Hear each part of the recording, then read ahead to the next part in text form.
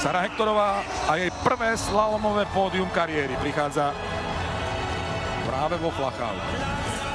A to je to cenejšie pre skúsenú Švédku, ktorá má na konte po dnešku celkovo 15 pódiových umiestnení, 14 z obrovského slalomu, ktorom má na konte aj 4 víťazstva, ale prvé slalomové pódium až dnes. Petra Vlhová takisto rozširuje svoju unikátnu zbierku o 46.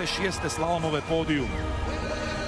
Celkovo je to pre Petru Vlhovú, keď berieme všetky disciplíny, 73. stupeň víťazov. A Mikála Šifrinová dosahuje 57. slalomový triumf, v slalome 81. pódium. Naprieč všetkými disciplínami je to 148. pódium a 94. víťazstvo.